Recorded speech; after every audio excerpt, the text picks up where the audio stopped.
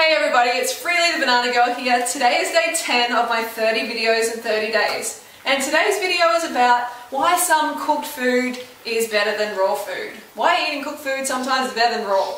Alright, so that's a bit controversial, I know. But trust me, there is a lot of sense to it. And the first thing is pursuit of purity.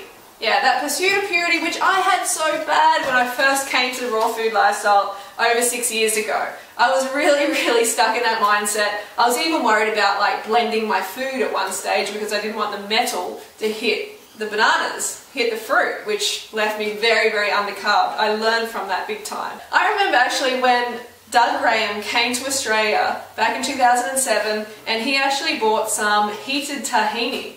And I remember at the time, Durianrider and I were like, oh my god, heated tahini, he bought heated tahini, oh my god, he's gonna eat that, it's not raw. It wasn't certified, verified, double checked raw.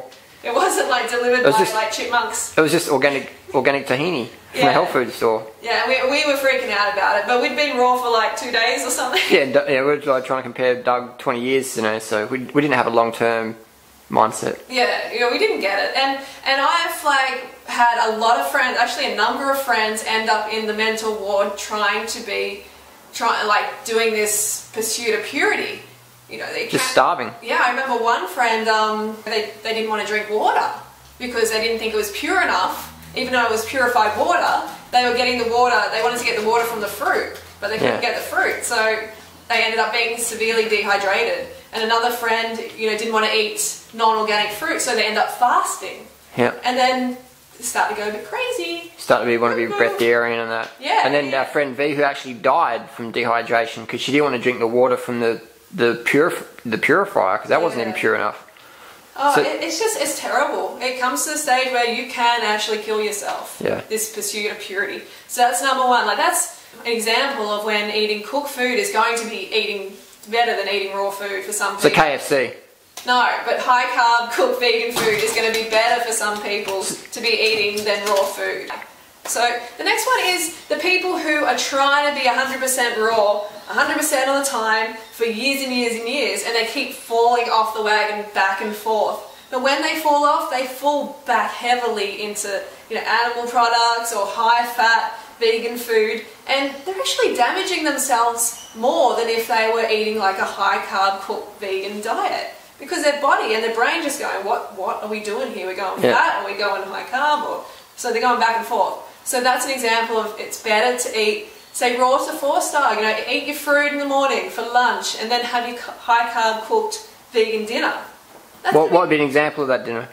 um, potatoes or your Potato steamed potatoes, baked potatoes. That's People- boring. People can take a look at my raw to four video for that one, but I want to keep moving. See, the cameraman's still here, folks. He still cut me off. This is if you love me. This is if you hate me. I'm sorry, folks. He does. He does add a bit of colour to the video. I'm sorry, but he's Bit of he's staying- class. He's staying around for now. But the next one is eating high-fat raw vegan. I mean, when I came to lifestyle, I just thought all raw is fine. Anything that's raw is a-okay. Just get the raw in there. But then I realised that no, no, no, this high-fat raw vegan is making me feel absolutely crap, and it is not the way to go. So you're better off having high-carb cooked vegan meals like corn pasta, rice, potatoes, starchy meals. You're better off having that than having this macadamia butter, the oil, cacao, superfoods, that sort of stuff. Really raw cashews. Yeah, no, no, really big gut ache. That's what that's going to give you, definitely. I remember eating a two pound bag of cashews in a movie cinema once because I, was like, I, I remember you doing that. I remember you getting into the macadamia so much, and you know what? You were nowhere near as vibrant and Yeah. healthy and energetic as you are now. Yeah. No way, or sharp. So there are also some foods that are obviously better off cooked. You know, you can't have starches without them being cooked, like potatoes and rice and pasta and things like that. You got to cook them, but don't be scared of them. It's okay. You know, high carb cooked vegan foods are going to make you feel amazing.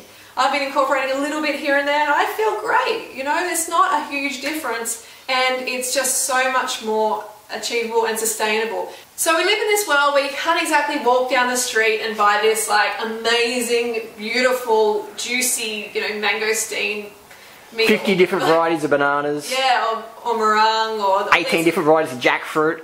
Yeah, you can't. We don't live in that world, so we need a backup plan, and we need to drop the guilt associated with that. Like, drop the pursuit of purity that is driving us a little bit crazy. Okay, so high carb cooked vegan foods are not going to hurt you. They're going to help you be the best that you can be. So that's what today's about. Just choosing high carb cooked vegan foods over raw food sometimes. You know, if it's going to make you crazy, just go for it because this is going to make you feel better.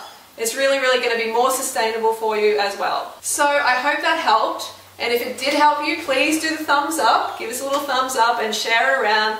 Put some comments down below. And tomorrow we have day 11. Okay, so take home message really. Correct me if I'm wrong.